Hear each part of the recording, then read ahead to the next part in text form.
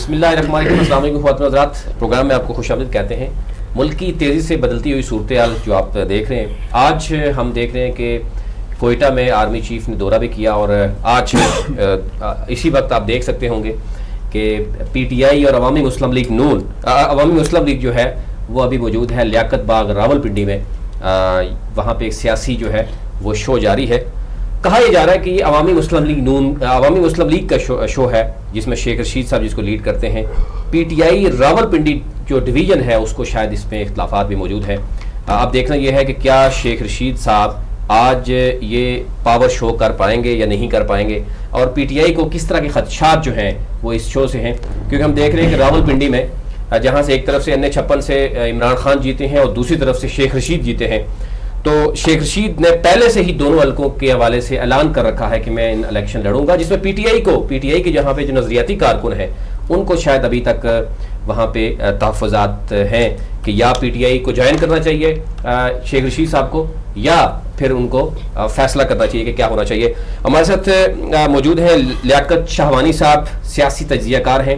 ان کے ساتھ تشریف رکھتے ہیں عبد الودود قریشی صاحب، سینئر صحافی ہیں، تجزیہ کار ہیں۔ عثمان سعید بسرا صاحب ہیں۔ پی ٹی آئی سے ان کا تعلق ہے۔ ابھی پٹیشن بھی انہوں نے کی تھی، شاید کوشش انہوں نے کی بڑی کہ نواز شریف صاحب کو روک سکیں۔ لیکن انہوں نے جو کہا تھا کہ روک سکو تو روک سکو، انہوں نے نہیں روکا، وہ فائنلی لاہور پہنچ گئے۔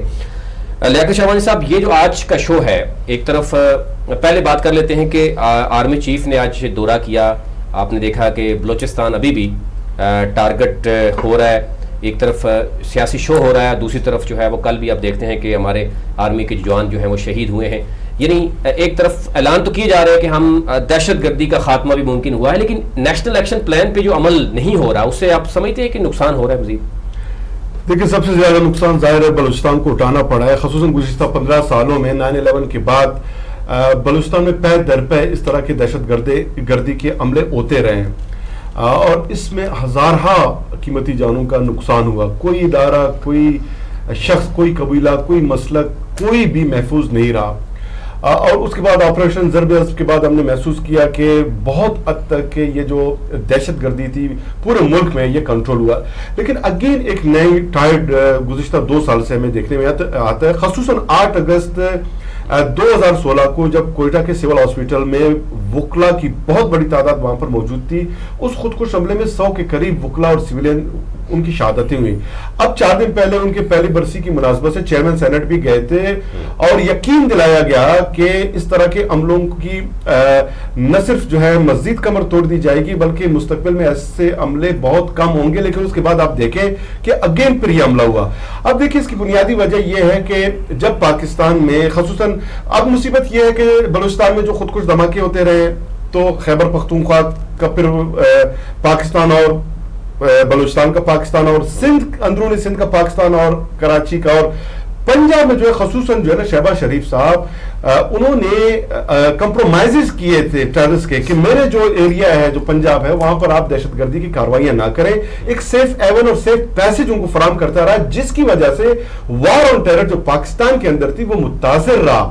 اور اب جو لاہور میں دو تین بڑے اٹیکس ہوئے اس کے بعد جا کے آپریشن رد الفساد لانچ ہوا اور بادر نخواستہ نہ چاہتے ہوئے بھی شہباز شریف صاحب کو جو رینجرز ہے اس کو مخصوص اور محدود اختیار کے ساتھ پنجاب میں الاؤ کرنا پڑا۔ اس سے قبل شہباز شریف صاحب سٹیٹ آف ڈینائل میں تھے۔ بلوچستان میں ابھی آپ دیکھیں دو مہینے پہلے مستوں میں جو deputy chairman senator Abdul Ghafoor Haideri اس پہ حملہ ہوا۔ اس کے بعد عملے پے در پے حملے ہو رہے ہیں اور جو خصوصاً قاضی فائز عیسیٰ رپورٹ جو تھی آٹھ اگست کے خودکش حملے کے بعد، قاضی فائز عیسیٰ نے چونکہ وہ بلوچستان ہائی کورٹ کے جج بھی رہے، انہیں تمام معاملات اچھی طرح پتا ہے he knows each and everything اس نے ایک بڑا کمپوزٹ ایکسٹینسو اور ایک بہترین ریسرچ ڈاکومنٹ انہوں نے فراہم کیا قاضی عیسیٰ رپورٹ کے نام سے لیکن انفارچونیٹ آپ دیکھ لیں چودھری نثار صاحب جو انٹیریئر منسٹر تھے بجائے کہ ان سفارشات کو ویلکم کر کے ان پہ عمل درامت کراتے وہ برا مان گئے اور کورٹ میں انہوں نے اس رپورٹ کو چیلنج کیا۔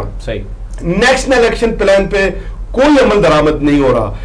اور تمام اب یہ ڈیپینڈ کر رہے ہیں کہ آپریشن رد رد الفساد اور پھر جو نیشنل ایکشن پلان پہ عمل درامت جب نہیں کرا سکے اگین جو ملٹری جو کورٹس ہیں ان کو ایکسٹینشن دی گئی ہے۔ اب یہ ڈیپینڈ کر رہے ہیں اس پہ گورنمنٹ اپنے طور پہ کوئی پلاننگ نہیں کر رہا۔ نیکٹا آپ آخری سن لیں نیکٹا پچھلے سال one point six billion rupees NACTA کا فنڈ تھا اس دفعہ اس کو کاٹ کے صرف جو چودہ کروڑ اسی لاکھ روپے رکھ دیا گیا ہے۔ یعنی دس گنا مزید جو بجٹ میں نیکٹا کی جو فنڈنگ ہے اس پر انہوں نے جو ہے نا ضرب لگا دیا ہے اس کو کاٹ لیا اس کا یہ مطلب ہے کہ پرائرٹیز نہیں ہے۔ اور آخری بات بلوچستان سے منسلک میں آپ سے یہ کہتا ہوں جب تک افغان ماجرین کے کیمپ بلوچستان میں پاکستان میں رہتے ہیں جب تک بارڈر مینجمنٹ نہیں ہوتا اس وقت تک یہ خودکش عملے جاری جاری رہیں گے اس کو آپ نہیں روک سکتے۔ کوئٹہ میں جو عملہ ہوا ہے دو گھنٹے مسافت پہ افغانستان بارڈر شروع ہوتا ہے۔ بارڈر میں لوگ آتے جاتے ہیں۔ اور افغان جتنے بھی کیمپس ہیں، جو افغان ماجرین کے کیمپس ہیں، وہاں پر فیسلیٹیٹرز موجود ہیں۔ وہاں پر جو این ڈی ایس کے جو ایجنٹ ہیں، ان کے جو لوگ ہیں، وہ وہاں آپریٹ کرتے ہیں۔ بلوچستان کو آلریڈی بلوچستان جو ہے محرومیوں کا شکار ہے۔ لوگوں وہاں پر بہت ناراض ہیں۔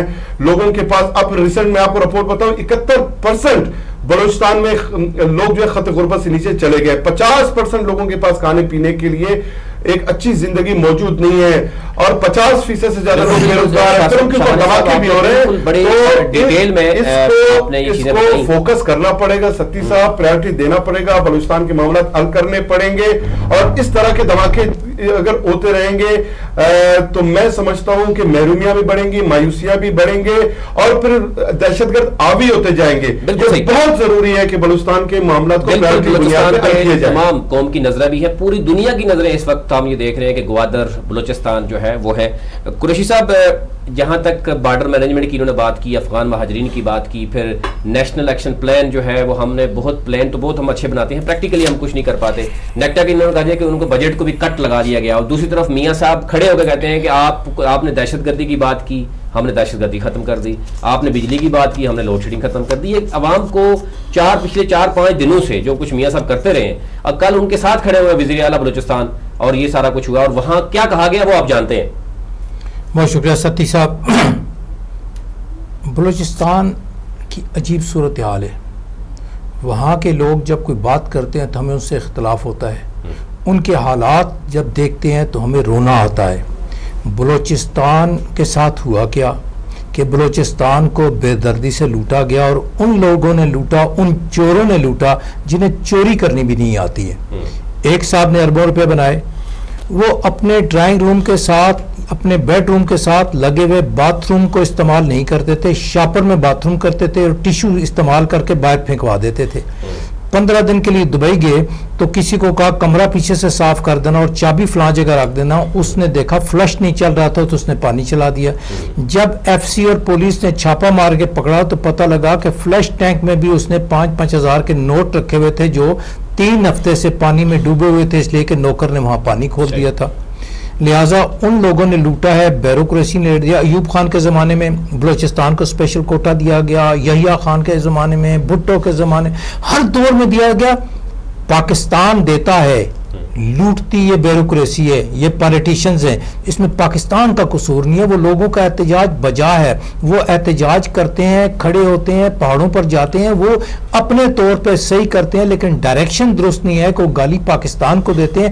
پاکستان کو نہیں، ان لوگوں کو گالی دینا چاہیے جنہوں نے اس ملک کو لوٹا ہے۔ اس بیروکریسی نے صوبے کو لوٹا ہے، ان کے ساتھ ظلم ہوا ہے۔ انہوں نے تو کہا کہ لوگ خط غربت سے نیچے ہیں آپ کو حیرت ہوگی کہ مجھے ایک ذمہ دار آدمی نے بتایا کہ بلوچستان کے ایسے علاقے بھی ہیں جنہیں لوگوں کو ٹیبلٹس کا نہیں پتا کہ کوئی آدمی بیمار ہو تو اس وقت ٹیبلٹس دی جاتی ہے۔ انہوں نے یہ بھی فرمایا کہ میں حلفیہ طور پہ کہتا ہوں کہ بلوچستان کے بعض علاقے ایسے ہیں جہاں مردوں کو اور عورتوں کو بیچا جاتا ہے نیلامی میں کھڑا کرتے ہیں اور اس کے مسل دیکھتے ہیں کہ کتنا مزدوری کرنے والا بلوچستان تو بہت مزدور ہے اور اس اس کو اس کی۔ آپ ذرا مجھے بولنے دیں گے تو یہ آپ کریں گے تو پھر میں آپ سے بات کروں گا اسی طرح۔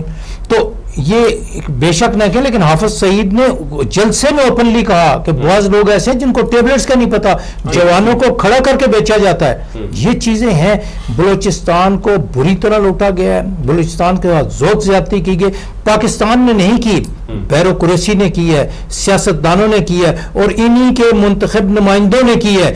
ان لوگوں کو کچھ نہیں کہا جاتا۔ وہ پھر معتبر ہے کیا اس میں مذہبی جماعتیں ہیں؟ یا پولیٹیکل جماعتیں ہیں؟ بلوچستان میں ہی باسٹھ تریسٹھ کی سب سے زیادہ ضرورت ہے کہ وہاں کرپٹ بدین بدیانت آدمی کو جنہوں نے ملک کو اور بلوچستان کو لوٹا ان کی گردنیں مارنی چاہیے اور۔ چھتیس گھنٹے میں مارنی چاہیے۔ بالکل ٹھیک ہے بسر صاحب نیکسٹ پہ چلتے ہیں کہ ہم سی پیک پہ چلے گئے ہیں۔ ہم نے کہا کہ یہ پاکستان کی تقدیر بدل دے گا، یہ گیم چینجر ہے۔ اس پہ پورے، پوری دنیا کی نظریں اس سی پیک پہ ہیں۔ اس کے باوجود اگر بلوچستان پہ ہماری جو آرمی بھی وہاں پہ موجود ہے، ہمارے جوان شہید ہوتے ہیں اور ہم ڈیلی بیسس پہ میڈیا کا قصور بھی ہے، ہم بھی ڈیلی بیسس پہ سیاسی شو ہی کرتے ہیں پاور کرتے ہیں۔ لیکن کیا ہونا چاہیے؟ آپ یہ آپ دیکھتے ہیں کہ یہ جتنا کچھ بھی ہو رہا ہے یہ اس میں حکومت کو کرنا کیا چاہیے اور جس طرح کوشی صاحب نے کہا کہ پاکستان سب کچھ دیتا ہے، لیکن آگے کچھ نہیں ہوتا۔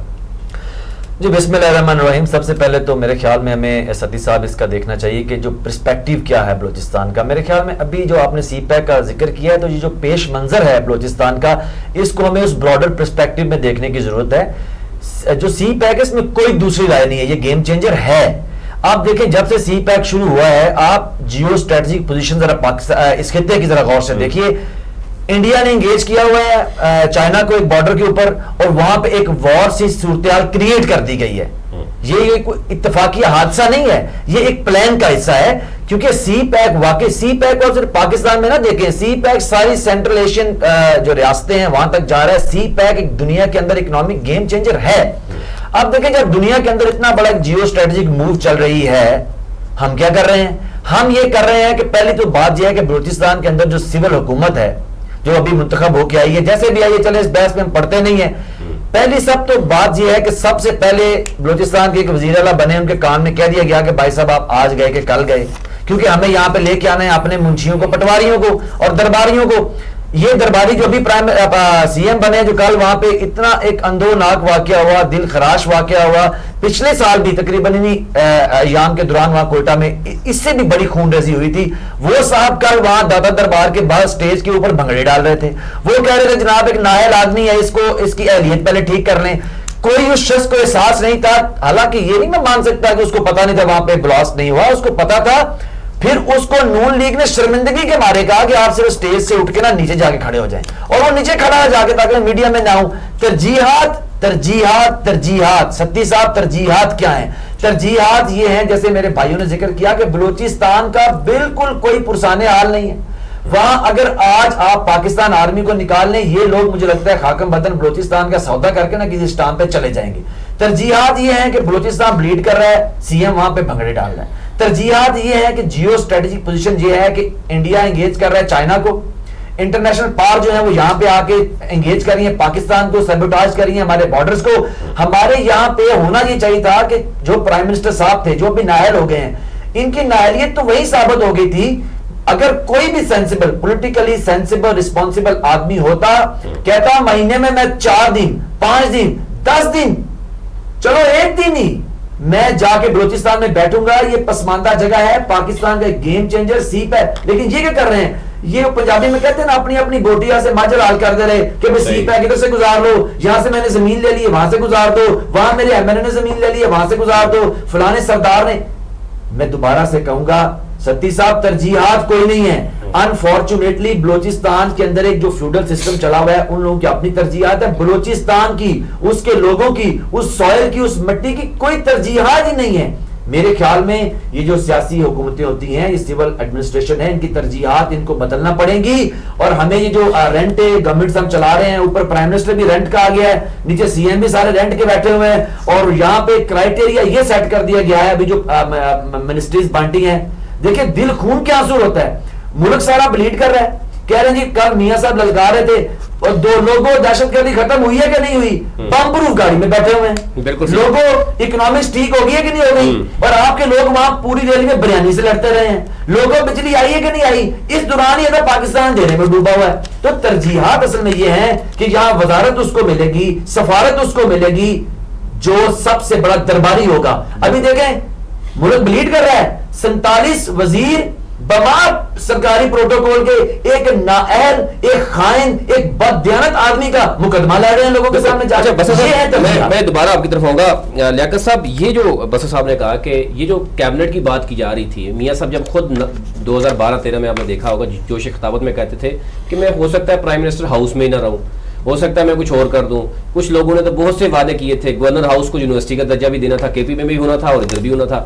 یہ جب اقتدار میں آتے ہیں تو سب کچھ بھول جاتے ہیں۔ اب فورٹی سیون جو ممبر ہے وہ کیبنٹ کا حصہ بنے ہیں اور اس میں وہ لوگ بھی ہیں کہ شاید جن کو گھر میں کوئی آ, کوئی شاید اتنا پاور نہیں دے گا جتنی ان کو وزارتیں دی ہوئی ہیں۔ اور کوئی ناراض ہو جاتا ہے تو اس کو میسج کیا جاتا ہے مریم کی طرف سے کہ نہیں اس کو اس کی منسٹری نہیں بھی بنتی کمیشن آفس ہے اس کو منسٹری بنا دو اور اس کو وہ دے دو۔ یہ جو کچھ ہو رہا ہے یہ جو بندر بانٹ چل رہی ہے اور دوسری طرف آپ یہ کہیں کہ عوام سے کہیں کہ عوام کے ساتھ ہم نے میاں صاحب خود کہہ رہے ہیں کہ میں نے کبھی آپ کو دھوکہ دیا کبھی آپ سے جھوٹ بولا آپ میرے ساتھ انقلاب کی بات کریں۔ آپ دیکھیں آپ پہلے پانچ سال پنجاب میں حکومت کی، اپوزیشن بھی کی۔ چار سالوں سے اقتدار میں بیٹھے ہوئے ہیں آپ کے اسلام آباد میں، وفاق میں بیٹھے ہوئے ہیں۔ اس کے بعد جا کے عوام میں کہتے ہیں جی میں انقلاب کے لیے نکلا ہوں اور آپ لوگوں کے لیے نکلا ہوں۔ مجھے بتائیں کہ یہ عوام کو کس طرف لایا جا رہا ہے؟ اور دوسری طرف سی پیک کی بات کی جا رہی ہے، اس طرف یہ سارے لوگ جو ہے اس طرف سے نظریں جو ہے وہ جھکا رہے ہیں اور وہ کہیں اور جا رہے ہیں۔ دیکھیے کافی ایک سوالات آپ نے ایک ہی سانس میں پوچھ لی۔ سب سے پہلی بات تو یہ کہ سینتالیس جو کیبنٹ کا بتایا سینتالیس رکنی یہ تو اٹھارہویں ترمیم میں انہوں نے پابند کر دیا کہ گیارہ پرسنٹ سے زیادہ آپ کے اوور آل پارلیمنٹ کا کی تعداد ہے اس کی مناسبت سے آپ بڑھا نہیں سکتے جو فورٹی نائن بنتے ہیں۔ ادروائز یہ سو ڈیڑھ سو تک بھی لے جاتے ہیں۔ کیونکہ میاں صاحب کو اپنی جو ہے نا بادشاہت بچانی ہے اس کو بحالی کے لیے وہ کوشش کر رہے ہیں۔ اور ان کو پتا ہے کہ ان کے ایم ایل ایز بھی اب ان کے ساتھ نہیں ان کے لوگ بھی ان کے ساتھ نہیں ہیں۔ اپنے بھائی پہ بھی ان کو ٹرسٹ نہیں ہے اپنے فیملی پہ بھی ٹرسٹ نہیں ہے۔ میاں نواز شریف نام ہے اپنی ذات اپنی بیگم صاحبہ اور اپنے بچوں کا۔ اس کے علاوہ آس پاس یہ شخص کسی پہ ٹرسٹ نہیں کرتا۔ تو لوگوں کو خوش رکھنے کے لیے حالانکہ خوش رکھنے میں اسحاق ڈار نے کوئی کمی نہیں چھوڑی تھی۔ گزشتہ آپ بجٹ دیکھ لیں ٹھیک۔ اس میں ہربوں روپے پی ایم ایل این کے کانسٹیچوئنسی اور ان کو ایم این ایس کو انڈیوس کرنے لالچ دینے کے لیے انہوں رکھے ہوئے ہیں۔ اور وہی پیسے ہیں جن کی وجہ سے اکثر ایم این ایس ابھی تک پارٹی میں سپلٹ نہیں آئی وہ اس انتظار میں ہے کہ پیسے امپلیمنٹ کب ہوں گے۔ جب امپلیمنٹ ہوں گے گراؤنڈ پہ آئیں گے آپ پھر دیکھیں گے کہ نئی صف بندیاں پھر کیا بنتی ہیں۔ ایک بات یہ دوسری بات آپ نے کہا کہ کچھ ڈیویژنز کو انہوں نے توڑ مروڑ کے جو ہے نا منسٹریاں بنائی ہیں۔ اور یہ ہے بھی انکانسٹیٹیوشنل آرٹیکل 172 سب سیکشن 3 کے تحت آئل اینڈ گیس پہ تمام چاروں صوبوں وفاق کا جو ہے نا برابر کا حصہ ہے۔ لیکن منسٹری وفاق میں بنا دیا انہوں نے۔ Oil and gas petroleum environment کی صوبائی سبجیکٹ ہے۔ ایٹین انہوں نے صوبوں کو دے دیا تھا۔ تو اس سے اٹھا کے انہوں نے ایک ڈویژن بنا لیا اب منسٹری بنا لیا اور مشاہد اللہ صاحب کو یہ منسٹری انہوں نے حوالے کر دیا ہے۔ تو ایک یہ آئینی اس کی اور جو ہے نا شاہد اللہ صاحب نے پہلے کیا کہا تھا دوبارہ ان کو لا کے؟ کیا میسج دیا گیا؟ ناظرین ایک بریک لیں گے بریک کے بعد واپس آئیں گے اور اس پہ بات کریں گے۔ اور آج جو شو ہو رہا ہے جس میں شیخ رشید صاحب بھی کہہ رہے ہیں جی عوامی مسلم لیگ ہے اور دوسری طرف جو ہے وہ پی ٹی آئی جو ہے عمران خان بھی وہاں موجود ہیں۔ لیکن راول پنڈی میں ہم یہ دیکھتے ہیں کہ پی ٹی آئی کا جو نظریاتی کارکن ہے، اس کے بھی بہت سے تحفظات ہیں۔ تو آج کا شو جو ہے، کیا وہ اپنا جو نظریاتی کارکن ہے، وہ کیا جس طریقے سے وہ باتیں ہو رہی تھی کہ وہ اس طریقے سے نہیں جائیں گے؟ اور شاید یہ میسج دے پائیں گے عمران خان کو کہ واقعی ہو رہا ہے، پارٹی کے خلاف بھی باتیں ہو رہی ہیں، اس کو وہ اس کا حل نکالیں گے یا نہیں نکالیں گے، اس پہ بریک کے بعد بات کرتے ہیں۔